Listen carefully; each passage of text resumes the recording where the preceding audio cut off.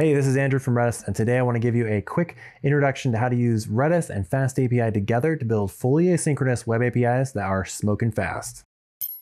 Okay, so the first thing I want to show you is our developer site. You can learn everything I'm about to show you here and a lot more uh, on our FastAPI with Redis page. So you go to the developer page here and go down to Python, and then go to Redis with Fast API. I've written up a whole tutorial that covers everything that you need to know about using Redis with Fast API. So check this page after this video if you want to go further. Okay, so what are the most important things you need to know about integrating Redis with your Fast API application? The first is which Redis client library to use. So to build a fully asynchronous API with Fast API and Redis, you want to use the AIO Redis library. That's the fully asynchronous Redis client library for Python. And we've just released a new version that is the same API as redis-py, except it's asynchronous. So in many ways, it'll be a drop-in replacement for redis-py for your async applications. Okay, so let's add AIO Redis to our example application. It's the is Bitcoin lit application. You can find setup instructions from that tutorial site that I just showed you. So let's assume you've cloned that, you have it checked out, and you just want to add this, this uh, library to your FastAPI app. So we're using Poetry, in this application. Poetry is really the best way to manage Python dependencies um, right now. So I'm going to go Poetry add AIO Redis. That's all you have to do with Poetry. It's going to install the latest version of AIO Redis, which is 2.0. Um, that's the version I just talked about. That is, has the same API as redis-py. So once that's installed, now it's time to really get cranking with our code. Um, let me give you an introduction to my single file of doom in this example app, right? So here it is. It's got a bunch of helper code. And then at the near the bottom, it has two fast API endpoints, refresh and something called is Bitcoin lit. So this is an application that lets clients make a request to is Bitcoin lit and gets the last three hours of price and sentiment data. So it gives you a roll up of the average price and sentiment data for Bitcoin broken down by hour for the last three hours. That's the whole goal of the application, right?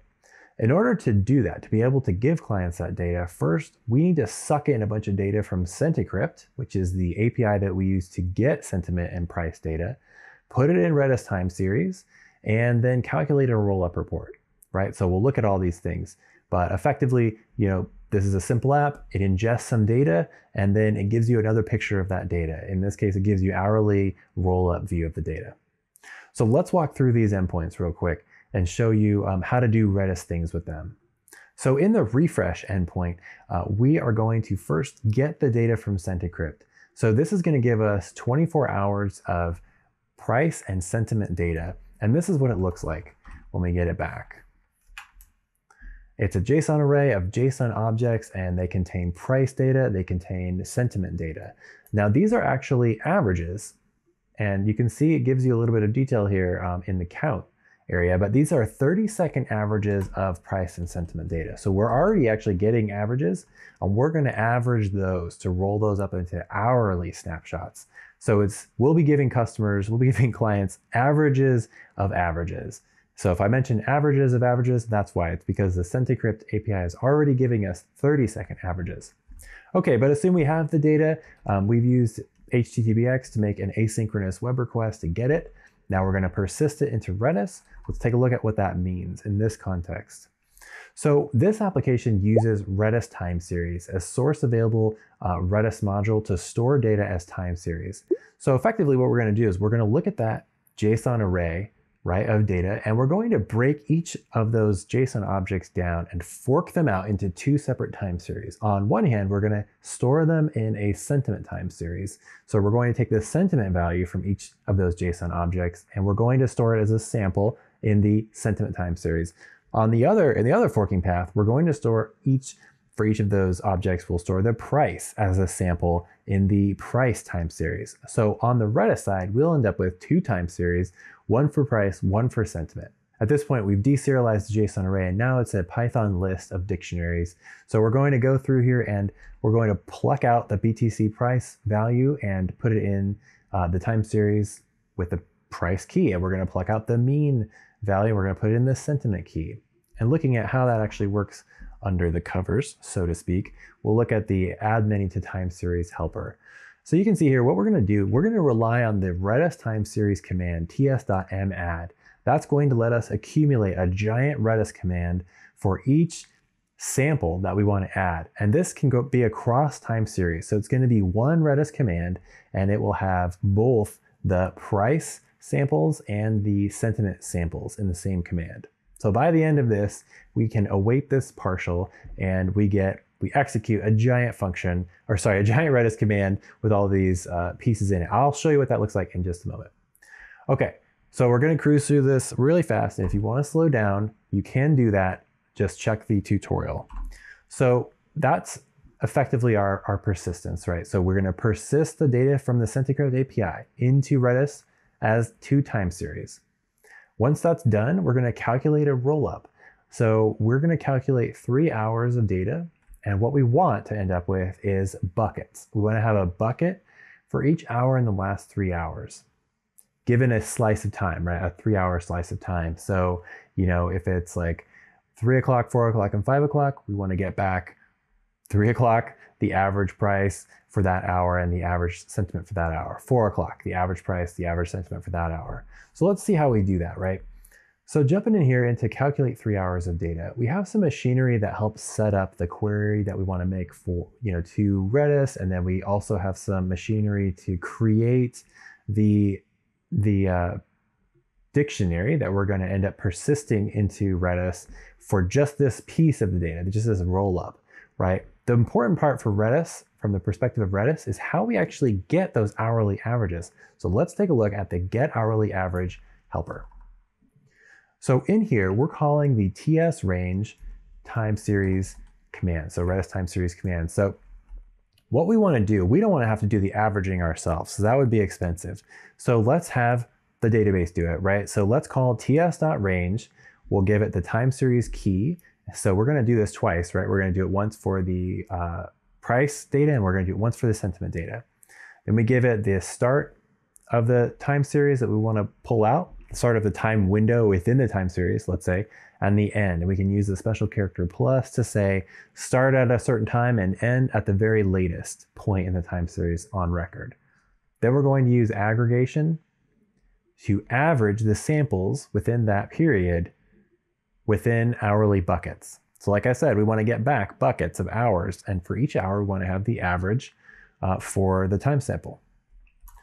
Okay, so after we get the hourly buckets for the sentiment, you know, roll up, and we get the hourly buckets for the price roll up, we want to combine them with zip, so we have a single thing, and then we store that piece of data uh, in this dictionary, right? Okay, so what's the whole point, right? We want to calculate this rollup. The whole point of calculating the rollup is to cache it in Redis. So we've very quickly shown how to use a Redis module called Redis time series to store what we can consider the main data for the API. That's these uh, samples of price and sentiment data. Now we also want to use Redis itself as a cache because of course, just getting a string and setting a string from Redis is going to be faster than doing any kind of aggregation. So instead of having clients, you know, instead of having to calculate this report every time a client requests, uh, makes a request from our API, we want to occasionally calculate the report, cache it, and then return from the cache as much as we can. So what we're seeing here is that after we do the refresh, after we add the data for the last 24 hours from the upstream API into Redis, then we calculate that report and we cache it. So we use the background tasks uh, feature from Fast API. This is a way that we can effectively run this function to put this data in Redis after we've already returned the response. In this case, this is the refresh endpoint and clients don't really use this. We would use it internally. You can imagine us having a scheduler that runs this like Google Cloud Scheduler or GitHub Actions like on a cron job. so it doesn't matter here. It will matter in a moment though. But effectively, you know, background tasks, if you haven't heard of this feature in Fast API, it's a really cool way to get, get around using something like Celery or RQ for pretty simple um, background tasks you might have. Here, it just does perfectly well at this task of adding stuff to this cache. Okay, we've gone so fast, but we already have the data in Redis that we're going to need uh, to serve these clients a report of data, right? So now let's take a look at the API endpoint that we actually use to do that. So clients are going to hit slash is Bitcoin lit, and what they expect to get is a, a little report of the last three hours broken down into buckets, one per hour of averages of the price and time series, sorry, of the price and sentiment data for, for Bitcoin. All right, so it's all about caching now, right? The first thing we're going to do, we're going to see if the data that we need for this report is already in the cache. And if it's not, then we'll need to add it back in again. Calculate it and add it. This is the same work that we did back here in the indexer.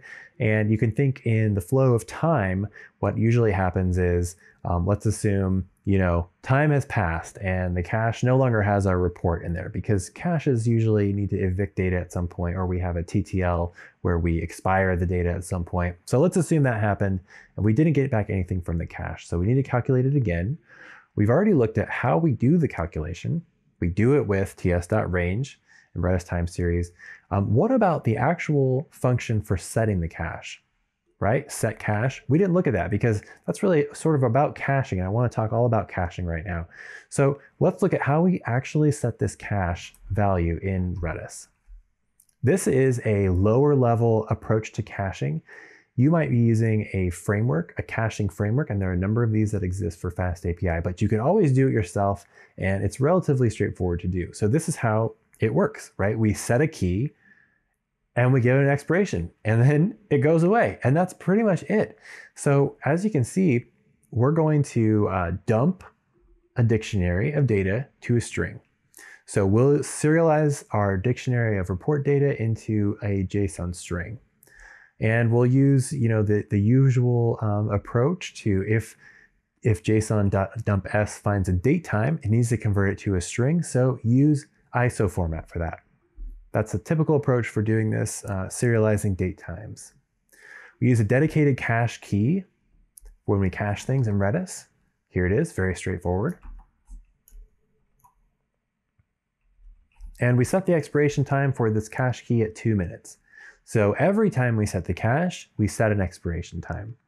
Eventually that goes away and the cache, uh, you know, Redis blows away that key and that's totally okay. That's exactly as we would expect. So that's setting the cache. We did it in indexing. We also do it here if somebody comes through in the cache and doesn't have our cache report. But what happens if they do see the cache report, right? What is what happens then? So we let's say we ran this, we added the value to the cache, and then somebody makes a request immediately after we saved the cache, and now we have some data. So what do we do? We got to pull it out. Let's take a look. So we use the same cache key. Obviously, that's going to be important. And then um, after getting the value out, it's just a string because Redis just mainly stores strings. So we store a binary string. Once we pull it out, we need to load it, or in other words, deserialize it from a JSON string to a Python data structure. It should be a, a dictionary, right? So if we find any uh, date times in there. This is, again, sort of standard machinery, right? If we find any date times in there, uh, we need to parse them back out from ISO format. So we use this little parser here. Uh, this is a little bit sketchy, but as you see, we, if we run into a string value that ends with the thing that ISO format strings usually end with and that we would have saved in there, which is the time zone offset, and we would have saved a UTC time zone offset, right? So if we see something that looks like a time string, we will use from ISO format, the Python 3.7 method to uh, load it into a datetime object. This is pretty standard. There's lots of ways you can do this. Some are better than others, and, and there you have it. So we've, we've parsed the data out at that point. We have a dictionary of data once we get the string and deserialize it from the cache. So we can just return that to the user. Okay, so lots of things going on here, right? So there's some cool things that you should look at, like um, startup events. Check the tutorial for this, but uh, we can make sure that the time series exists when the app starts up using the time series, using the uh, startup event. But I think we've looked at enough code, right? Why don't we actually uh, try to make this work? So first of all, we're gonna make sure the app is up. This app uses Docker Compose. So all we have to do is say Docker Compose up and it'll start the Fast, Fast API application. It'll start Redis and then we can go over, uh, let's go to the Redis CLI and connect. So when we go to connect to Redis CLI, we need to give it a, a port. Now, usually it's 6379, but in this case, because we're in Docker, I have mapped 6379 in the container to 16379 on my local host. So now we're going to connect and we're going to run the monitor command. The monitor command just prints out all the commands that clients are running on the database. So we have the, the app is running, we're monitoring. Now let's do some, let's do some curl, okay? The first thing we're gonna do is we'll run the refresh to make sure there's data in Redis. So that has just pulled data from Senticrypt and added it to Redis time series. Uh, but how do I know that it has done it? Let's flip over to our monitor. So monitor outputted a bunch of stuff and you can already see that giant command that I mentioned earlier. Uh, this exceeds the buffer, I guess, for VS Code. Uh, but what this is, is this is the giant ts.madd command. Um, it's going through and it's saying into this time series key, add this timestamp with this sample over and over again. Uh, and you can see that there's actually, it's doing just as we thought, we expected, it's doing multiple time series keys, sentiment and price. So back and forth, one, one after the other. Later on, we ask for the report, right, when we do the caching. And so here's the ts.range commands that run to generate that report. And then here's where we set the JSON string into a key. Okay, so I would expect now to be able to go over here and in my terminal, run the command to check if Bitcoin is lit, right? Is Bitcoin lit? Well, let's find out. All right, so we have the hourly average of averages. This is exactly what we expected to see. We wanted to get a breakdown of the price and sentiment averages per hour for the last three hours.